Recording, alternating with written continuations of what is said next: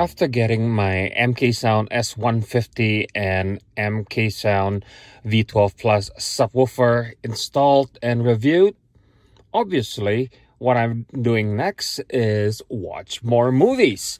In the last couple of weeks, I've been watching loads of movies and I compile a top 10 audio demo movies to make it easy for you to choose. Now, these demos that I'm recommending, it's not in any particular order. These are just 10 movies that I would use right now to demo my sound system. So without further ado, here we go. We'll start with a new version of West Side Story. Every single song, every single speech, every single dialogue, it's been recorded in Dolby Atmos in a very convincing way, very lively, but at the same time remaining natural.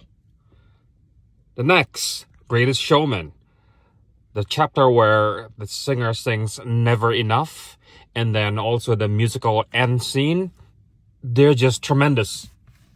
Spacious sound with added room echo to create depth and width.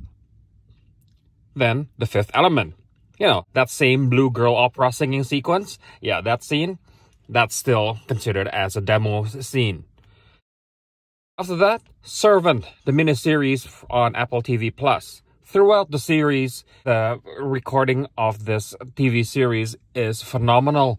It shows Dolby Atmos with a lot of subtleties and atmospheric sound throughout. Of course, Star Wars Episode 1 pod racing scene can never be forgotten. That's also on my list. Next, Tron Legacy. Really bad movie, great light cycle sequence. So every single one of the light cycle sequence, it's a great demo. Ambulance. It's a Bayhem movie.